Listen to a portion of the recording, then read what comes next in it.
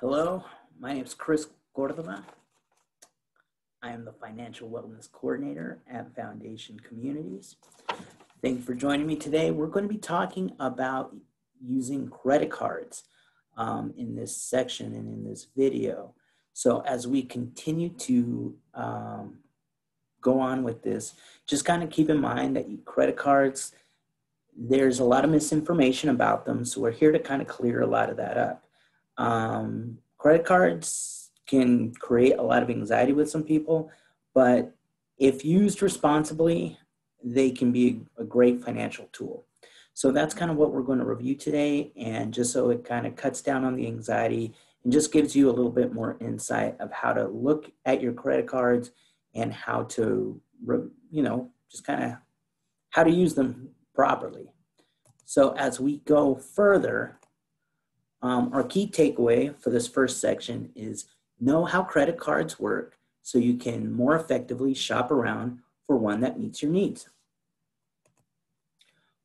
So we're gonna go ahead and break it down a little bit and just say, what is a credit card?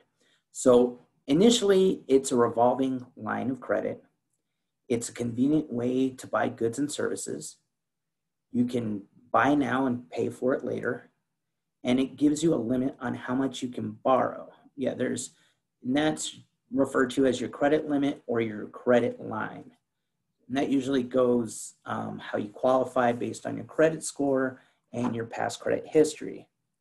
And you must pay at least a portion of the bill every billing cycle. That's referred to as your minimum payment. So um, just kind of our key takeaway here is your credit limit or your credit line, your line of credit. That's the amount that you need to, that you're kind of limited to use. So you don't want to go over that um, because there would be fees associated with going over that limit and that you must pay a portion of your bill every month, at least making a minimum payment there. Now, like I had mentioned it before, it's, we should kind of not look at credit cards as additional income or additional money, but more as a financial tool. It's more of a way to be responsible with the amount of money that people are lending out to us. So, right here, it's referred to as an important financial tool. And it can build evidence that you are credit worthy. It's going to build a credit history for you. Can help you pay for emergency expenses depending what situation you are in and you need to pay for something, you may not have the cash on you or the cash or the money in your account where you could swipe a debit card. This gives you another option for you to pay for emergency expenses. It's a convenient option for purchases online or to buy over the phone. It also gives you a right to dispute erroneous credit card charges. So something that does not look correct, or maybe that was an incorrect charge, you can dispute that. And a right to dispute certain charges for goods and services that weren't delivered as agreed. Now, these are some other options that sometimes get confused as being credit cards, but they're going to be charge cards. Those are sometimes associated with restaurants or specific stores um, which could be separate because they're not necessarily being reported or building credit on your behalf. Prepaid cards, also known as stored value cards. So these are kind of, these are cards set up with specific financial institutions where you continue to put money on the card and then you pay at will until there's no money left. I think um, like it's similar to like a gift card that you continue to put money on. But like I said, those aren't necessarily building credit. Like if you were to get a HEB or grocery card and you know continue to put money on that until you spend it down, that's not really building your credit, which is whole the whole idea behind a credit card or one aspect of a credit card. And the other thing is a debit card. So a debit card is a, so is connected to your checking account but your debit card is never building credit.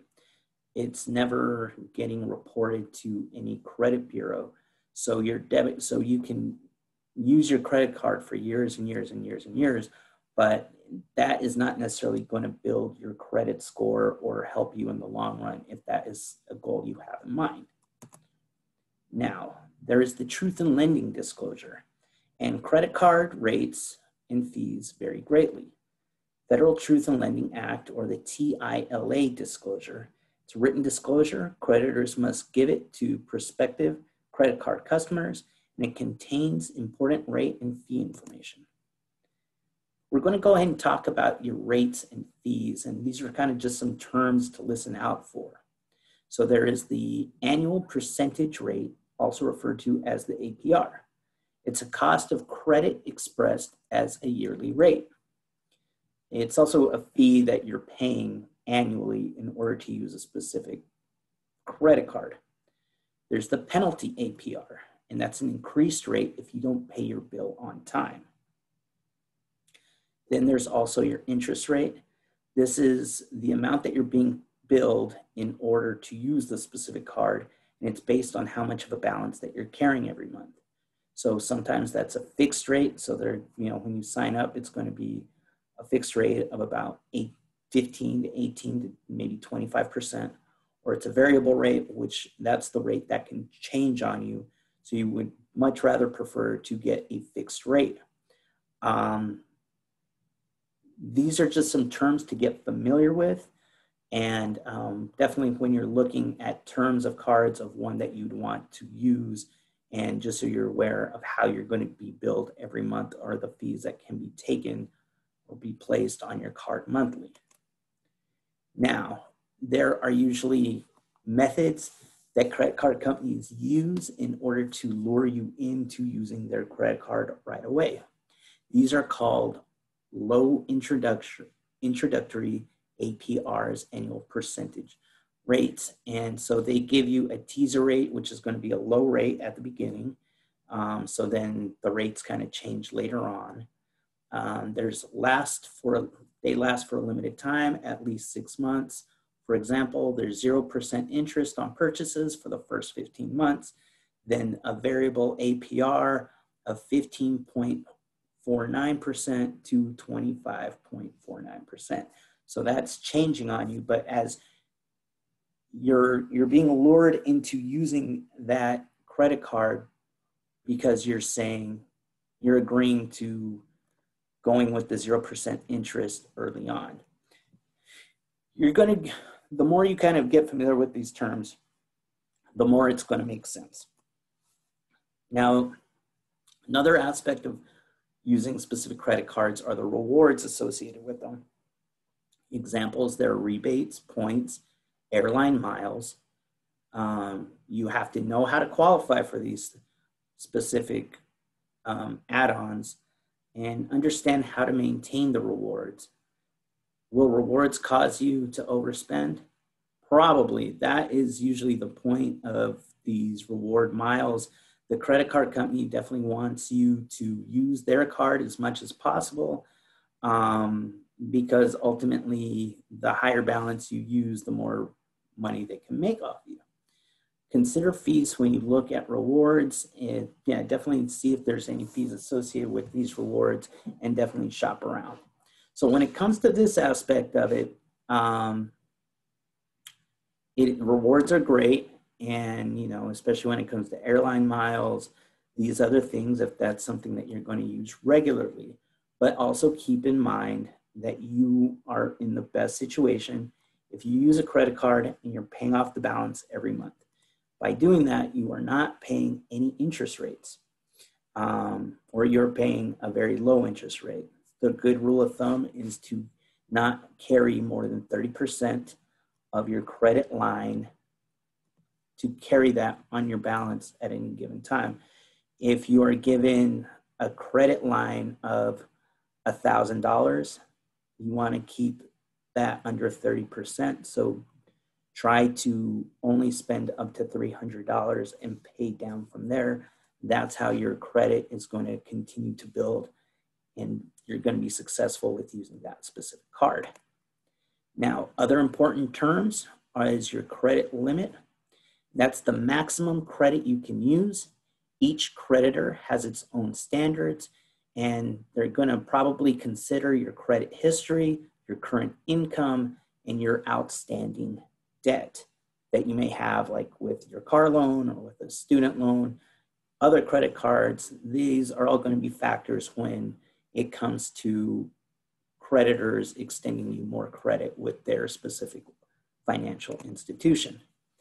Now, there are grace periods. That's the time between your statement is issued and when your payment is due. Creditors do not have to give you a grace period, though.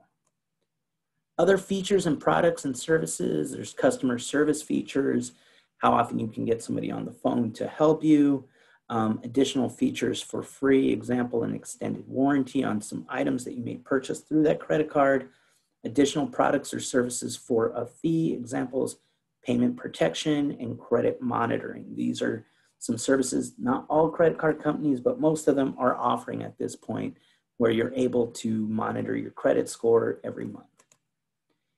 Now, there's two types of credit cards that you can get, and they're going to be the unsecured and the secured credit cards. So your unsecured credit cards, that is you're putting down no collateral. You are putting down no money in order to use that card. Now your secured credit card require collateral. So you're going to keep money or collateral in a dedicated deposit account they may be equal to a card's credit card's limit. If you pay your balance regularly by the due date, you are generally can improve your credit history and score. That's the whole purpose of getting a secured credit card, or that should be your goal. You want to improve your current credit score or establish a credit score and your current history usually easier to qualify for than an unsecured credit card. It's usually easier because you're putting money down. The money that you're putting down is your collateral, and that's saying, if I'm not successful with making my payments, the organization is going to use that, the financial institution is going to use the money I put down as the means to repay my, my debt. So we're talking about secured credit cards. Once again, and secured credit cards are the credit cards that you're putting a deposit down or you're putting down collateral, collateral with, and they typically have lower credit limits, usually about $500, maybe like 250, 500. It wouldn't be over a thousand. It would be rare that'd be over a thousand because you'd have to put a thousand dollars down. Now, some people apply for secured credit cards if they are unable to get unsecured credit cards. So if you have not yet qualified for a, for a secure, unsecured credit card, you're probably going to go the secured credit card route. We can help them build their credit history. And that's ultimately what you want to do with that. You want to build your credit history by using that um, secured credit card. Now, when it comes to applying for a credit card, there's going to be several options to find one, especially the different offers available, financial institutions and retail stores, they tend to have very robust marketing. They're going to be a little bit more um, more motivated to get you qualified. There's um, websites you can go to where you're comparing uh, um, the terms of various credit cards and you're I'm sure you've already experienced receiving various mail credit card offers in the mail, and um, that's probably going to continue. But um, those are very, they look very attractive, especially when they're coming at the same time that your bills are coming in, because it gives you, you look at those off, offers and it's like a way to pay your bills but definitely be leery and check the terms and make sure that that is something that you want to enter into. Now there is an opting out of pre-screened offers. You can use this number here, which is 1-888 567 8688. Or you can use their website as optout um. Now here are some key terms in the application process. There's the credit card applicant, that would be you, the person seeking credit. the creditor, the financial institution that would be extending credit to you, the individual credit, that's the, the specific account, the joint credit, that's a card used between two people, and there's an authorized user, so I could have a card and I authorize an additional person to use that credit card. So remember the key takeaway here for section one is you know how credit cards work, so you can more effectively shop around for one that meets your specific needs. Now in section two, we're gonna go to managing your credit card. Now, the key takeaway here in section two is credit cards can be convenient, but manage them carefully to keep costs down and avoid damaging damage to your credit. Ultimately, like we said in the first part, credit cards should not be seen as free money, additional income, but they should be seen as a financial tool. So as a financial tool, you want to use that in your best interest by keeping your costs down. You don't want to be spending fees that you that are not necessary. And you also want to build a good credit history, a good credit score while using these credit cards. So when it comes to reading a credit card statement, um, there's going to be the account billing cycle, and that's the time period covered by the statement. It's usually a month's worth of time, usually about um, 30 days, 31 days. Um, it's usually about a month. Now, your account summary, that's going to give you information on what your previous balance was, what your new balance is, your credit limit, how much you have to spend, and your credit that you currently have available. So therefore, if you have a credit limit, we'll go back to $1,000 and you have spent down 300, you have a balance of $300, your, your available line of credit would be about 700. Now, when it comes to your payment information, you want to take a look at what your new balance on that card is, the amount that you owe, the minimum payment that is due, that is the amount that you still need to pay for that specific card. When your payment is due, that's going to be your payment due date just a side note on that, that is very important because that is about 35% of your credit score, as we mentioned in one of the other videos. Um, so making your payment on time, even if it's the minimum payment, is extremely important. You definitely want to keep up with what your minimum payment is and make sure you're, you're very diligent about making those minimum payments on the due date. Um, what your late payment warning would be, what those fees associated with the late payment warning would be. And there you some credit card companies are very quick to charge you a late fee. So you definitely want to pay attention that you're not paying additional money by being one day late. And then there's the total minimum payment warning. Um, that's that's making sure that you're making those payments on time. Now, more items on a credit card statement to look out for is a credit counseling statement. That's going to give just further explanation.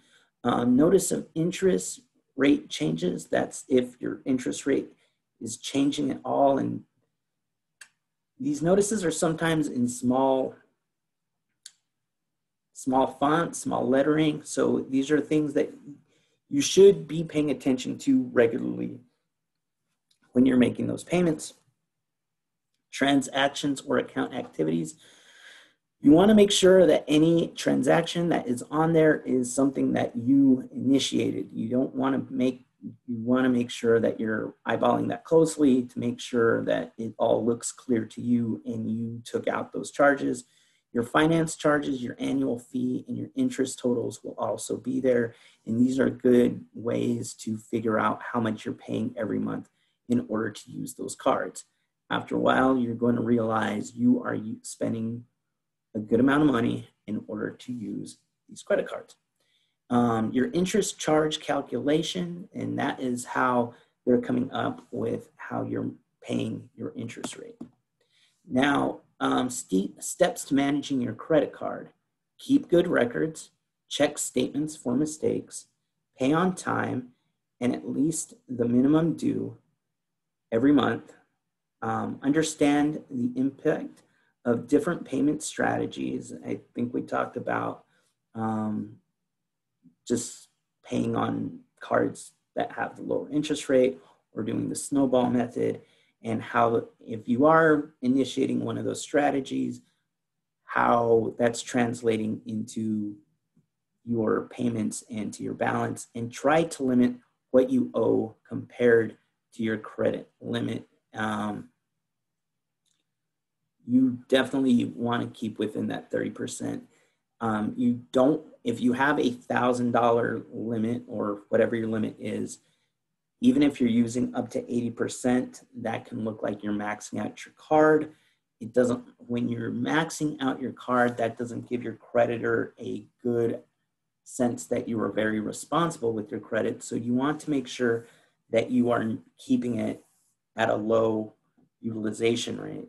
And um, so just be very careful with that now how payments are applied to your balance if you're only making the minimum payment creditors choose the creditor is going to choose how to apply to that to your balance. Often it's applied to a portion of the balance with the lowest interest rate. Now, amounts over minimum payments generally applied to a portion of the balance with the highest interest rate. So you definitely want to be more aggressive than just paying your minimum balance every month. You want to ultimately pay as much of that bill off as you can every month set up a strategy where you're you, you can set aside a specific amount of money every month but be aggressive to pay that down as much as you can if at all possible it will take you a very long time after all the interest if you're only pay, making minimum payments especially if you use the entire limit of that credit card your key takeaway here is credit cards can be convenient, but manage them carefully to keep costs down and to avoid damaging damage to your credit. All right, we discussed a lot in this video. The things are you want to look at your credit cards as a financial tool and you want to find out how that's going to help you bring up your credit score. Um, you also want to find out how it can also assist you. But remember, it's not free money. You have to be responsible when using that credit card.